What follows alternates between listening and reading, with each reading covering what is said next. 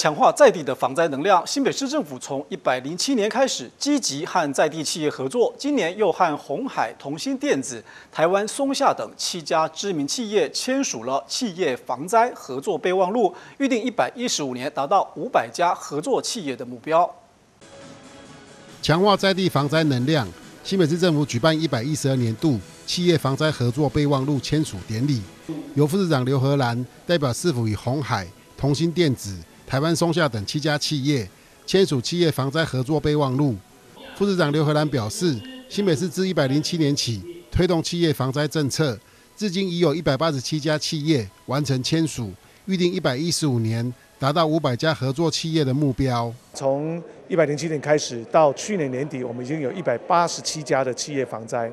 那在两个礼拜前，我们的这个防灾演练里面也特别在宣誓，到一百一十五年。也就是未来这四年，我们要从一百八十七家增加到五百家的企业防灾。今天非常谢谢我们啊七个企业都是各领域的龙头企业来一起参与，让我们极端气候下，我们所有的生命财产可以获得最好的保障。刘兰指出，企业防灾重点在协助企业提升自主防灾能力，辅导企业强化防灾机制与内部安全。而各企业也能运用其资源回馈地方防灾的工作。企业参加以后，我们将有辅导的伙伴会进到企业一起来讨论相关的防灾的准备跟防灾的这个设施是不是足够。那我们也会提供新北市政府的资源进到我们各个企业界，让每个企业的防灾做得更落实。当然，更重要的是，我们有一千零三十二个里，有这么多的社区，所以如何让企业防灾跟社跟社区防灾做一个紧密的连结，这也是未来我们消防局会跟企业啊参加的企业一起来合作努力的。消防局表示，企业防灾的合作领域相当多元，包括工厂、卖场、食品业、铝塑业、物流业等。未来新北市政府将持续扩大并深化与企业的防灾工作，让新北。成为一个安全耐灾的城市。记者伦宏采访报道。众所关心的基隆捷运计划综合规划公听会在新北市汐止区行政中心十一楼举行，现场涌进上百名关心捷运建设的汐止民众，整个会场座位几乎都被坐满了。选区立委还有议员、多位里长都出席，表达宝贵的意见，希望捷运工程能够尽早顺利开工。马长庚在二啊，戏子区公所在的时候，跟我们的戏东线会交接在一起。那之后呢，戏子区公所站跟西科站跟樟树湾站，这个是西东线的部分。那樟树湾站呢，我们跟它是属于共站的部分。那之后樟树湾站我们就分开来，继续我们的南洋大桥站。细子人期盼好久的捷运，现在分成两条路线，一条是细子民生线，而最近也受到关注的就是基隆捷运。为了让规划更完善，也听取地方的民众意见，交通部铁道局召开公听会，说明基隆捷运计划路线与规划的内容，包括沿线设站等等。而在简报之后，也听取地方意见。那我自己有去南港展馆那边，大概先看了一下哦，那个从基隆捷运的站到。南呃，板南线的月台大概要走大概五分钟的时间。那南港站其实大概呃转乘的话也是大概七到八分钟，所以这个部分就对于运具竞争力的影响其实蛮大的。南新路这是七哥，这是一个很大的民众所需要乘坐的一个廊道。我希望车站的出入口要给我们规划好，不要真的下雨天的时候大家撑着伞，道路又不方便，然后。用百米的来去赶捷运，来去赶火车，这牵涉到前瞻的经费。那西东线跟金融捷运是不是可以先脱钩？所谓脱钩，就是因为你不把计划拆开来的话，他们两个的会变成，就是在经费的争取上，它很难去切割。那西东线走在之前，那金融捷运走在之后，如果再这样子牵扯，可能又是下一个十年。有部分的路廊是用台铁的第三轨嘛？好，那我想确认一下，如果说基隆捷运用好了之后，那对于台铁我们中程、长城的呃使用的民众的冲击大概是怎么样？轨道运输我们一定支持，但是我们也要考虑到说，呃，让民众知道说对既有搭乘其他轨道运输民众的一个需求。民意代表希望不要让细致人再等十年。一直以来，细致何时能有捷运，地方很关心。里长也希望周边的交通规划措施能够更完善等等，更符合居民的需求。还有立委赖品瑜就认为，目前公听会给的资料并不够详尽，包括经费分配等等，都应该让民众知道。那尤其是中央跟地方这个协调的过程中，那你应该你应该更清楚的去讲说，那你们认为各自发现的困难点到底在哪里？到底是说，哎，经费如何分摊呢？还是轨轨道上面，哎，到到底有什么问题？这个其实应该是要去讲清楚的，都应该要跟民众清楚说明。目前我们非常听到都是基隆、台北在在那边有点意见，哦，所以首先第一个要提出来就是说，希望铁道局能够有备案，哦，若是基隆一直没办法处理的时候，是不是一样依照系东线重新要先做？哦，例如我们从北湖组那边开始切，切到南港站，机关来做的时候，一定会跟呃当地的民众做呃最好的沟通啊。那基隆捷运走到今天，要来跟大家召开公听会，啊，其实我们在呃整个政府建设计划的程序里面，这已经算是走到要要把球丢进去篮子里面的最后一步。三场公听会办完，广征地方民众意见作为参考。基隆捷运目前规划从南港站到八堵站，全长十五点五九公里，沿线会有十三座车站，有部分走高架，部分会地下化。而在樟树湾站是一个分水岭，预计施工期程是七十二个月，在综合规划核定后，九年通车。这陈慧玲细致采访报道。从高速公路下交流道来到新北市石碇双溪口，就可以看见一个大大的牌楼。进来牌楼上的欢迎词已经更新了，原本挂的是吉祥如意，现在已经改成醒目亮眼的石碇欢迎您。而石碇淡蓝艺文馆的招牌字呢，也同样更新了。大大亮眼的金色字样“石定欢迎您”，远远的就能够看见。在石定双溪口牌楼上，原先上头挂的是“吉祥如意”，现在已经换上了“石定欢迎您”这五个大字喽。石定区长刘彦博表示，双溪口牌楼历史悠久，也是游客来到石定第一眼看到的标的物。但不少游客反映，常常来到这个路口，都还不晓得已经到了石定，因此将牌楼欢迎词更新，用最醒目的方式，让每一位来到。石定的游客都能够感受到石定展开双臂欢迎的满满热忱。常到了路口之后，不知道老街或者是区公所，或者是有一些地标要怎么走，所以我们特地在那个地方哈，其实做了一个翻新，就是可以让呃来石定的游客其实更清楚的知道呃路要往哪边走。所以我们其实呃更新就是以石定欢迎你五个大字哈，然后来告诉各位石定已经到了。另外，石碇淡蓝艺文馆也同样挂上了崭新的招牌字哦，将原先白底红字的招牌改为具有设计感的书法字样，并且注入白色现代美学，让译文馆的外观更具清爽和写意之感。提供来往的游客哈，有一些旅游的资讯、资讯，还有当地美食的一些介绍哈。那另外在二楼，我们也会结合当地的艺术家做一些艺术展览的演出哦。那其实，在门口的招牌也的确是年久比较旧了一些，所以我们最近哈，其实也一并做了一个翻新，也希望大家其实到呃指定旅游的过程里面，也可以到我们的艺文馆里面去走走看看。不论是牌楼的欢迎词，还是淡蓝艺文馆的招牌字，在更新之后都带来了不同的感受。石定区长刘彦博表示，希望借由一点点的改变，让石定山城更有活力，也诚挚的欢迎更多民众来到石定一游，感受山城的迷人魅力。记者陈小丹采访报道。宝贵的自然生态不但不能够破坏，更需要维护。新北市启动了春季无痕净溪净滩活动，淡水区带领着清洁队和各里里长以及环保职工们，超过四百多人一起来进行海岸净滩，希望透过净滩活动，让原本海漂垃圾很多的淡水沙滩变得更加的干净。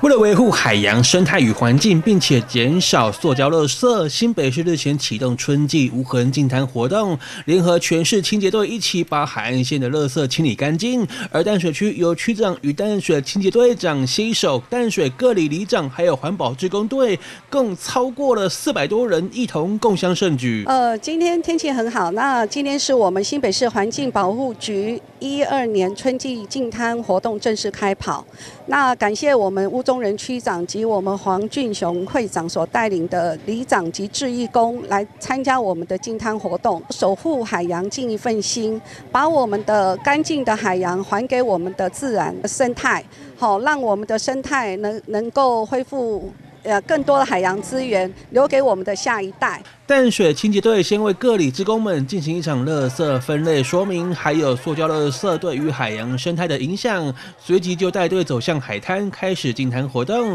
现场有三十多个里长带着各里的环保职工，有四百多人一同共襄盛举。队长表示，希望透过净滩活动，将原本布满海洋漂流垃圾的沙滩，可以还给海岸生态更干净的土地。我想今年度的联合净滩哦，在总共高达四百人，并且淡水。有三十六个里共同站出来，所有的乡亲大家都共同就希望能够守护我们的家园，守护我们的沙滩。尤其沙仑这个沙滩，过去到现在都是非常多游客、网红、知名打卡景点。尤其在这边看到夕阳、看到落日，我相信都会是大家最美的回忆。所以今天我们共同身体力行站出来，一起保护家园。洁净沙滩，人人有责。我们来参加那个我们的海岸的净滩了哈，希望说让呃我们的呃环境更好了哈。那这次呃世界地球日的主题就是投资我们的地球，希望。感谢我们呃所有的环保志义工，还有公所团队哈，我们一起来呃守护环境哈，让淡水更好，让台湾更好。区长表示，淡水沙仑海岸过去早期是淡水人最适合休憩的景点，而现在不少游客也会来到这里拍照看夕阳，还有许多新人也会来此拍婚纱。而一旁就是未来的沙仑文创园区，一旁还有淡海轻轨经过，因此更要将这里的环境维持干净。现场有许多里环保职。工都加入了净滩行列，清除一代又一代的垃圾漂流物，将沙伦海岸变得更加美丽，也让海洋生态不受到人类废弃物的威胁。也希望大家一起来维护自然的生态环境。记者许端一淡水采访报道。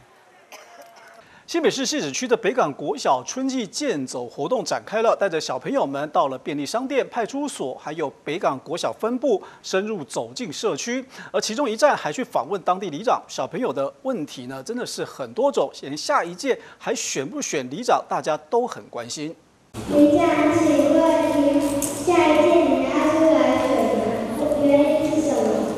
下届还选里长吗？问题真的有点辛辣。不过里长也很耐心回答，以邻里建设需要时间去经营来间接回应。戏子区北港国小每一年都会安排春季健走，带着一到六年级的小朋友走入社区。其中这一站和里长有约，地点就在戏子农会的休闲中心。小朋友对于里长的工作很好奇，问的问题也五花八门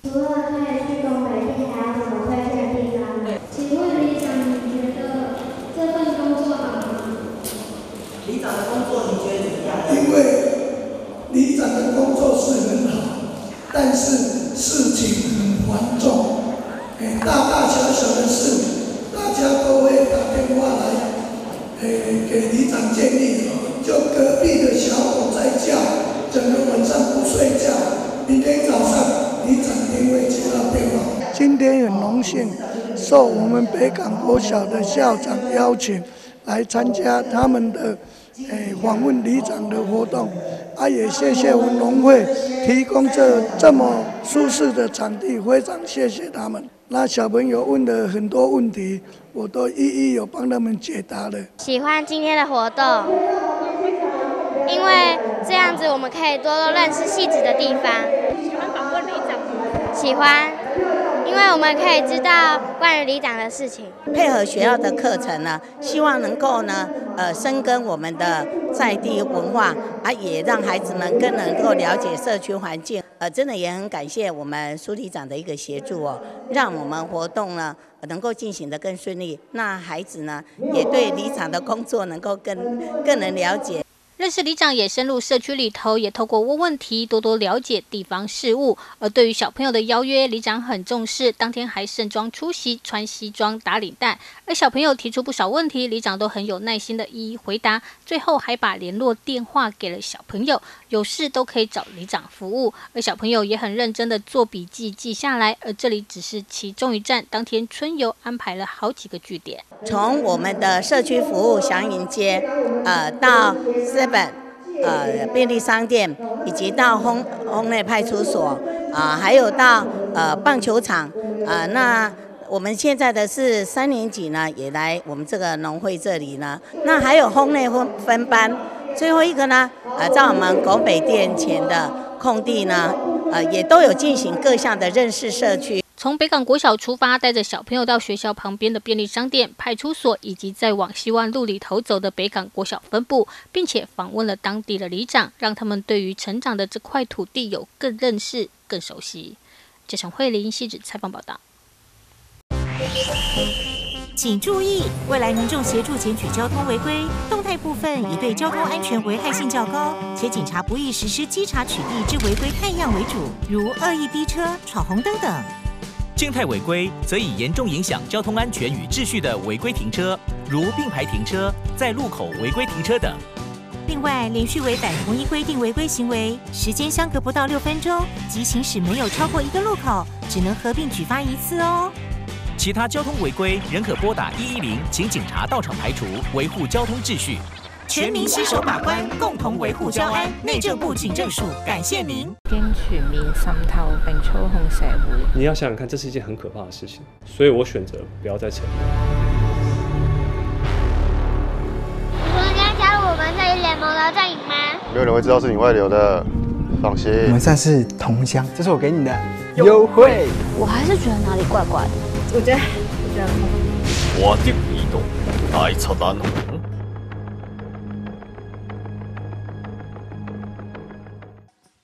投资型诈骗，你是否曾经在社群网站上看过一些关于轻松赚大钱的广告？事实上，这类型的诈骗手法往往以快速致富作为卖点，吸引被害人上当，并以不真实的小额获利，逐渐降低被害人警戒心，引诱被害人开始大量投资。等到被害人真的大量投资之后，随即卷款而逃，千万别上当啊！轻松致富多陷阱，脚踏实地最实在。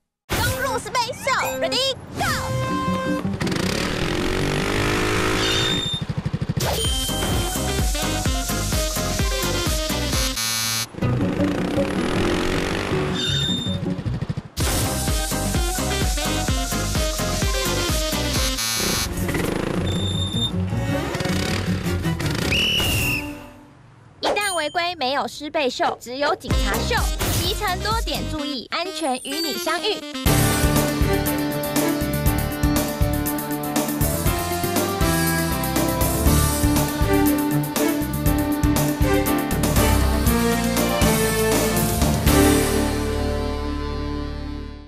二零二三年新北市纪录片奖的优选作品名单已经出炉了。市长侯友谊出席参加，并且鼓励创作团队持续用纪录片来记录每一个感动的时刻，也能和国内外产业进行合作，让这块土地的故事被更多人看见。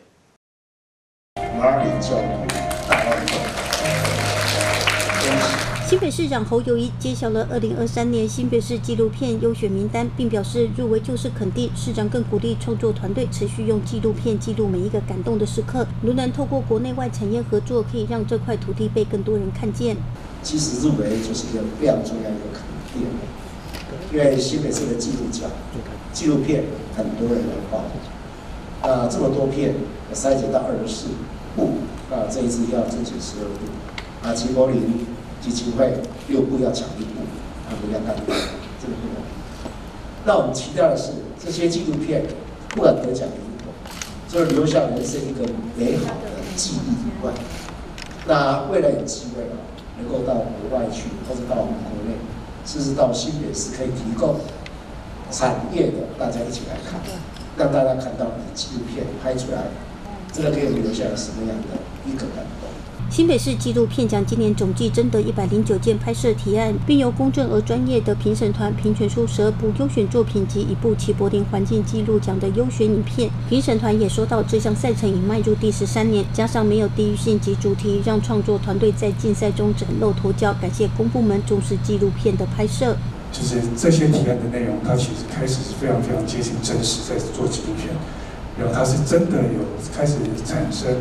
发挥公共的影响力。我甚至如果不讲，我会忘记了，这叫做新北市规定要在新北没有这个界限，它是自由的，所以我必须非常坦诚的说，包含府中十五，包含整个的，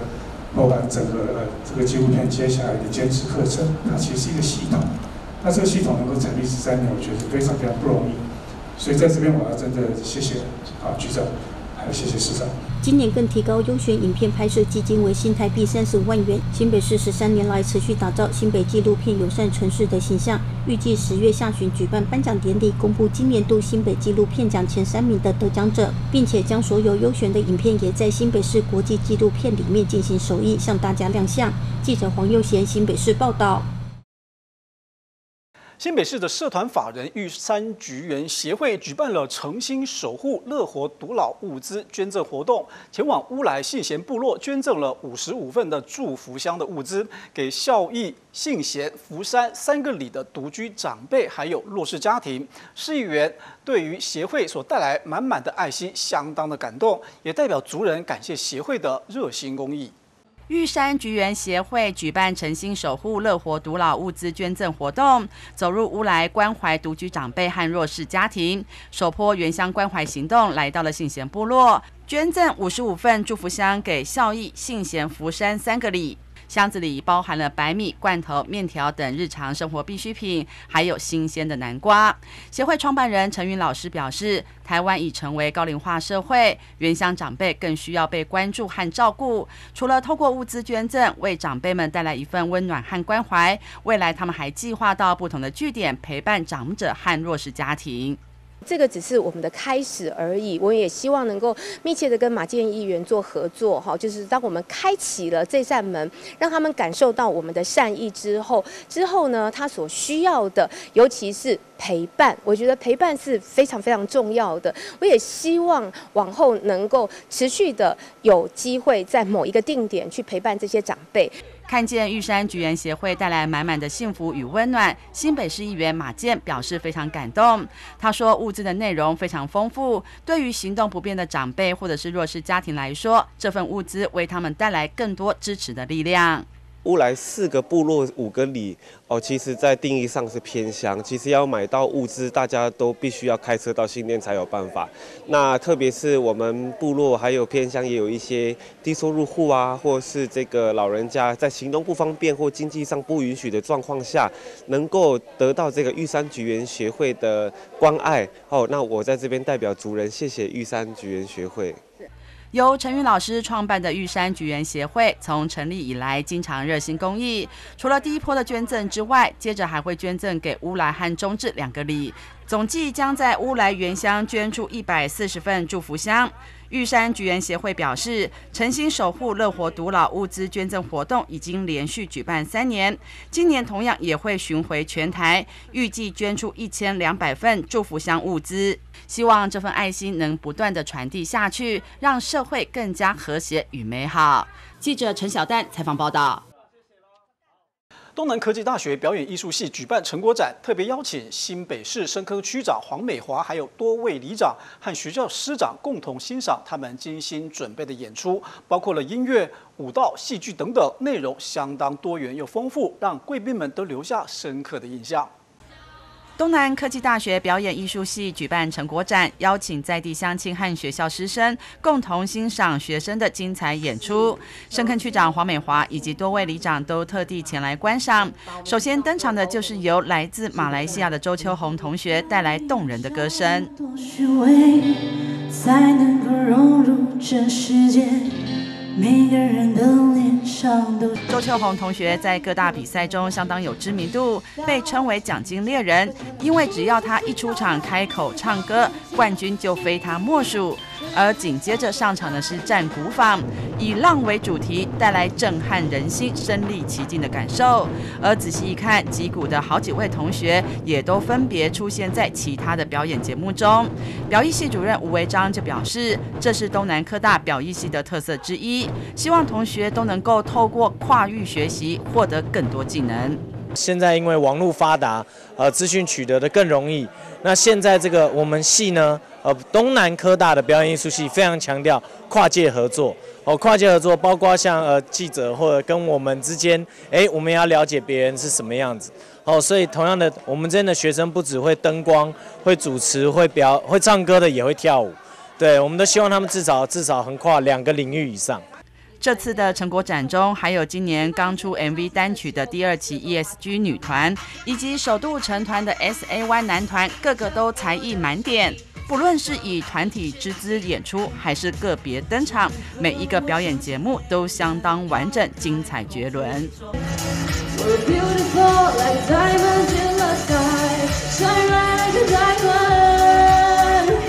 不论是主持、唱歌、跳舞，还是幕后的舞台灯光，这场成果展全都是由学生一手包办。东南科大校长李清莹就表示，学校除了给予训练课程，也着重于实物的结合，让学生在毕业之前就能够拥有就业的基础能力。我们除了这一些正式的训练课程之外，我们也安排了很多的一些单位，让他们利用暑假跟寒假能够。去他们的一些剧场或者一些这个舞蹈的一些场地，他们都有在做实习，而且这个实习是有分数的。那我们借由外界跟我们校内的老师共同来辅导，然后让他们呢在毕业的时候都已经拥有一些基础。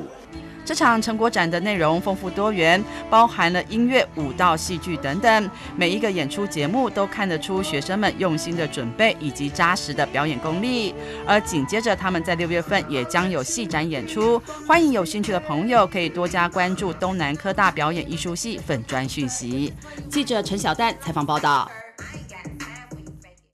今年初，一品书屋进驻了新北市淡水区后，受到许多爱书民众的瞩目。这家不以赚钱为目的的书店，不但坐拥淡水的山海美景，店内藏书更是高达四千多本。馆方更希望借由每个月所举办的多场展演活动，让民众感受到更多的译文内涵。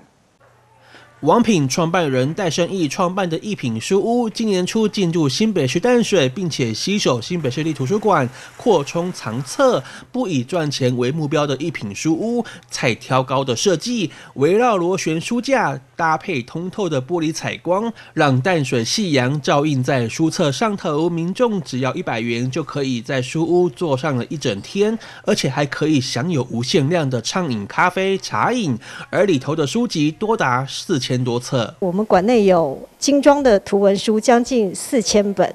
我们有饮食、旅游、生活、美学等童书，我们一百块就可以一整天在我们馆内阅读。我们还提供了咖啡跟茶等饮料，都是不限量的取用。大家可以看到，我们的吧台区有咖啡跟三种茶，都是大家可以无限的畅饮。最重要的是，我们希望能够把阅读推广到。呃，这个台湾的每一个角落，让阅读成为台湾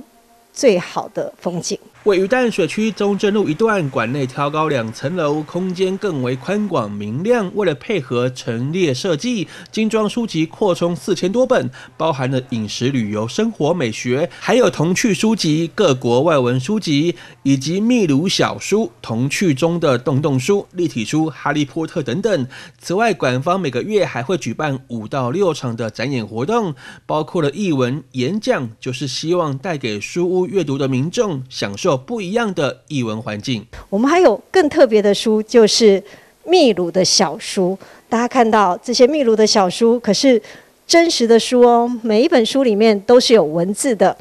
那大家有看到，包括这么小的书籍，里面都是有真正的文字在里面，非常的丰富。这个空间里面最重要的是，它是非常的安静，而且是悠闲的。所以你在馆内，你可以得到跟外面不一样的。阅读的享受。馆长表示，一品书屋与传统书店最不同之处，就是里头的市面上独特少见的精装图文书类型，涵盖了饮食、旅游、生活、美学、童书、外文等等。而目前淡水扩充至四千多本的藏书，还有许多已经绝版的书籍，让爱书人特地前往搜寻。尤其是秘鲁小书以及童趣中的洞洞书、立体书、哈利波特等等，更为独特，更受到大朋友与小。小朋友的欢迎，而在书屋进驻淡水之后，空间比以前更大。目前一品书屋淡水馆将近有两百五十平的空间，明亮时尚、挑高透视的舒适空间，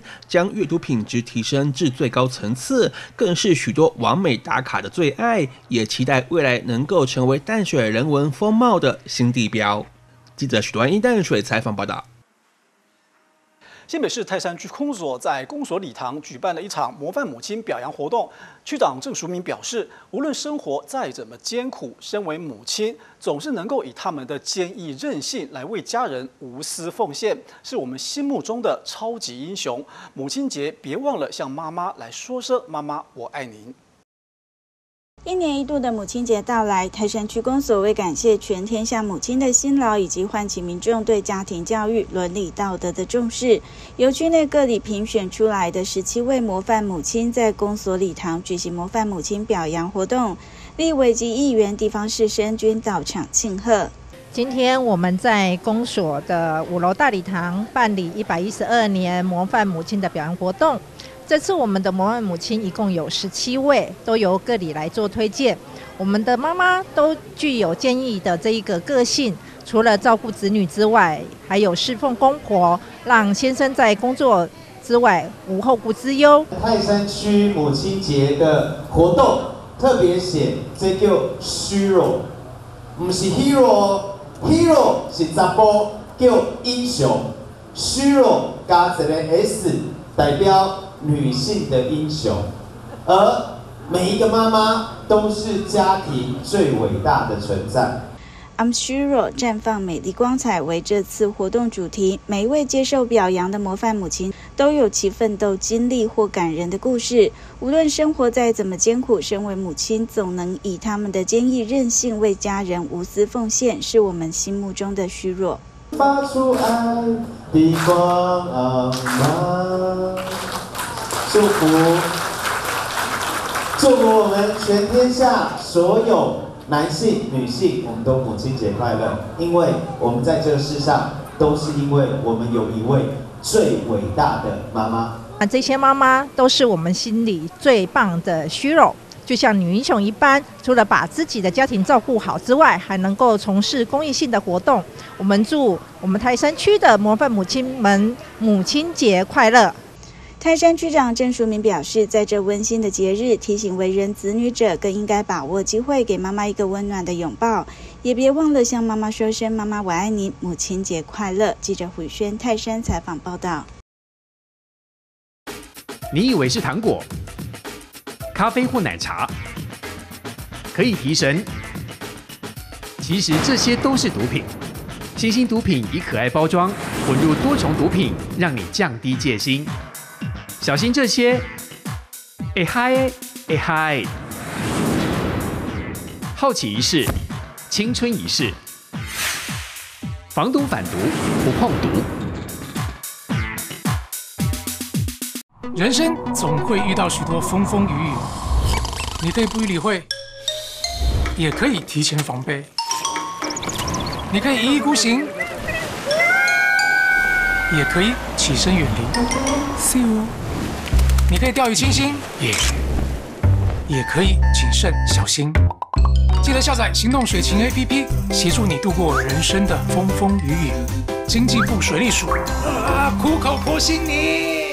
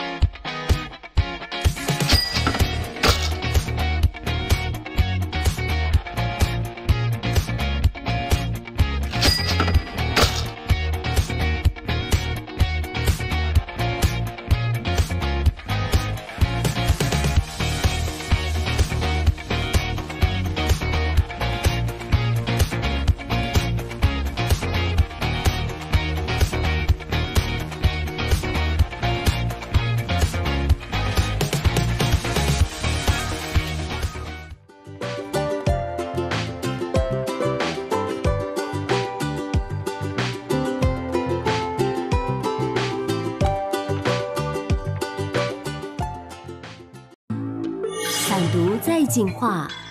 毒品新生人口下降只是第一步，我们更要支持戒毒者。当他们失去接纳支持，毒品可能又趁虚而入。政府提出再犯防止推进计划，减少毒品带来伤害，更需要用友善、接纳、关怀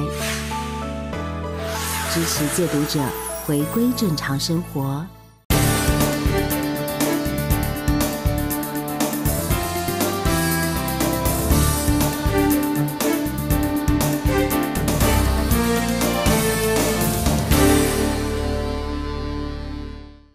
北市士林夜市发生了砸摊打人的事件。开牛肉汤店的老板骑车经过麻将摊的时候，向客人挡道碍事。麻将摊的老板认为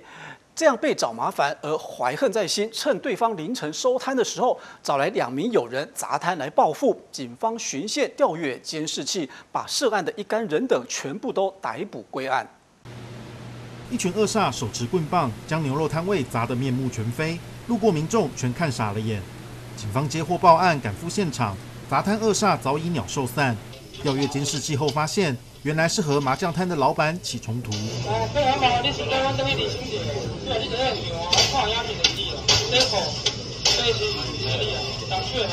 事发在四月三十日凌晨，原来被害的阮姓老板骑单车经过麻将摊时，不满客人挡道，怒呛对方。麻将摊老板心生不满，认为对方刻意找茬。趁他准备收摊时，找来两名友人砸摊报复，并将人殴伤。被害人骑乘脚踏车经过这个麻将摊前面，哦，与这个张姓老板的客人发生口角纠纷。哦，张姓老板于是心生不满，哦，认为这个被害人哦来故意来找茬，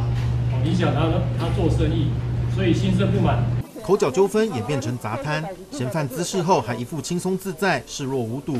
士林警分局已经将涉案人等全数带回侦讯，并依违反刑法聚众斗殴、毁损、伤害等罪嫌移送法办。记者游祥庭台北采访报道。为了更加推展台北市的观光旅游，观船局特别邀请了旅行社的业者来到了大道城，体验台北一日游的行程，搭乘蓝色公路游船欣赏河岸的美景。同时，也宣布七月一号到八月二十号，整个夏天在大道城码头周边安排一连串的精彩的活动，邀请大家届时可以一起来享受台北的浪漫城市风情。台北市观船局长陈淑慧来到船上，亲自跟大家打声招呼，热情欢迎旅游业者一起体验台北市的专属行程。像是大道城的蓝色公路旅游路线，除了能搭船浪漫游河之外，还能参加一系列夏日河滨活动。除了乘水上的我们讲呃船乘船体验之外，在整个夏天，呃七月一号到八月二十，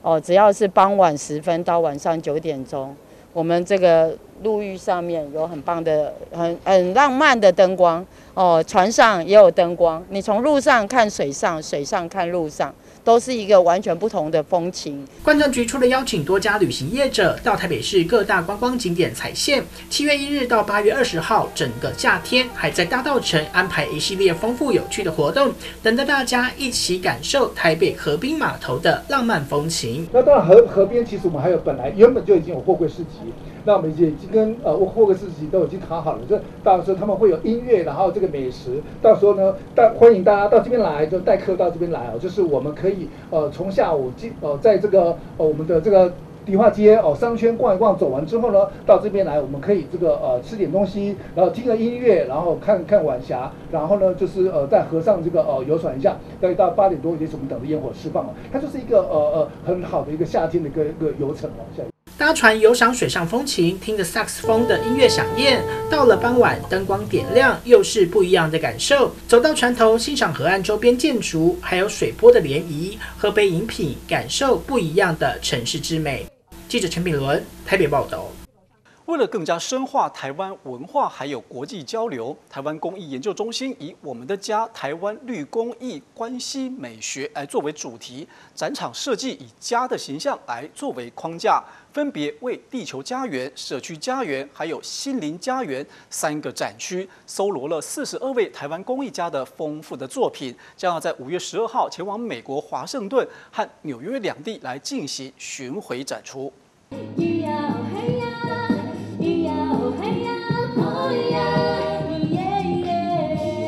润嘹亮的阿卡贝拉和声演出，为我们的家台湾绿公益关系美学展前记者会揭开序幕，汇集台湾各地四十二位公益艺术家，以三大策展主题“地球家园”、“社区家园”及“心灵家园”为框架。五月十二号起，将前往美国华盛顿及纽约两地巡回展出蕴含人文环境关怀的丰富作品。台湾除了台积电啊，让世界看到，是不是台湾丰富多元的文化应该被看到？基于这三个，台湾应该要做三件事情：第一，让文化走出去；第二件事情，应该把台湾啊对善尽环保的责任也让世界看到。主办单位表示，台湾因为丰富的自然人文，孕育出多元的工艺。这次赴美参展，以人为本的核心思考，将自然、循环、平衡、宽容及生命力等绿工艺的精神融入策展理念，表达对自然环境永续发展的重视。我们用工艺来对接人跟人的关系，人跟自然关系，跟安定自己的身心。工艺已然成为社会的处方线。我们善尽。以台湾人虽然不是很大多，可是我们是多元族群，可是我们善尽地球责任，我们善尽人类责任。令草艺术家郑梅玉一边为现场民众介绍，手指一边上下凹折，马上就编出一只可爱的动物编织作品。这就是融合台湾本土文化及工艺技巧。五月第一站将在五月十二号到三十一号赴华盛顿展出，六月七号到三十号则巡回纽约展出，要让世界看见台湾丰富精彩的绿色工艺。记者陈敏伦采访报道。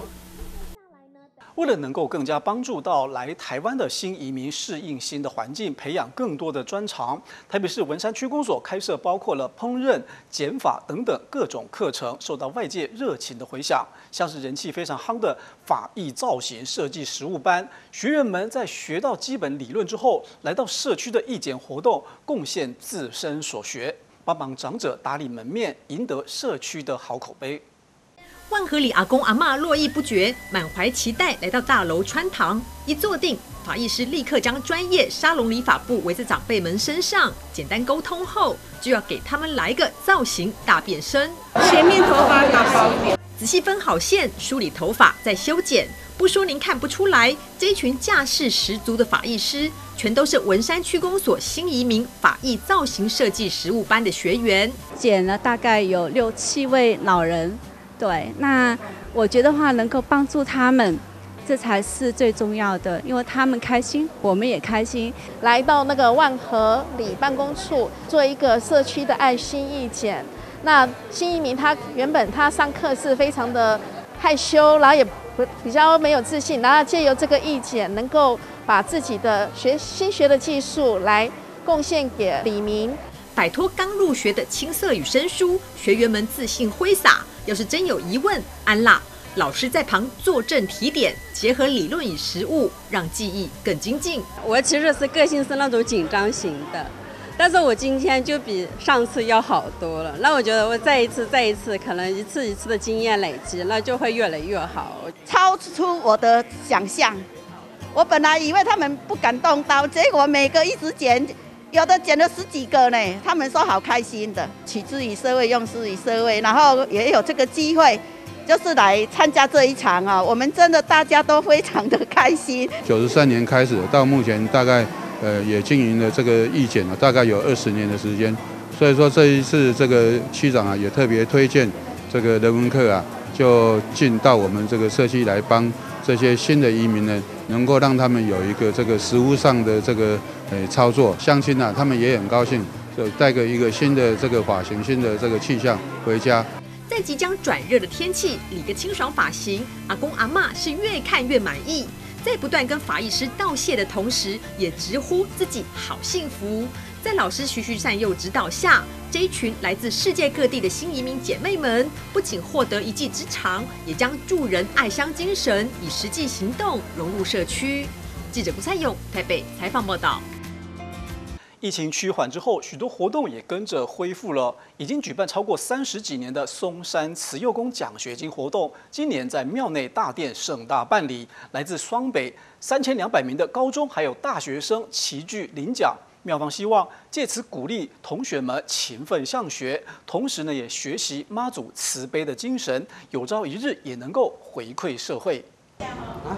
学生们开心合照，从松山慈幼宫董监事手上接下奖学金和奖状。疫情解封后，庙方再度盛大举办颁奖典礼，特别选在庙内大殿前，在妈祖见证下，表扬包含高中职及大专院校主，总共超过三千两百位学生。住在这个几个行政区内的学生，只要认真读书，八十分其实不会很难拿。奖学金哦，就把它存起来啊，准备以后的高普考考试。这就发七百九十几、九十一万，哦，所以咱两个加起来拢爱到千六万，所以。奖励囡仔吼读书，啊，帮助因因来向上学。啊，尤其阮有特别有对这个国防学院啊，甲戏学的学生囡仔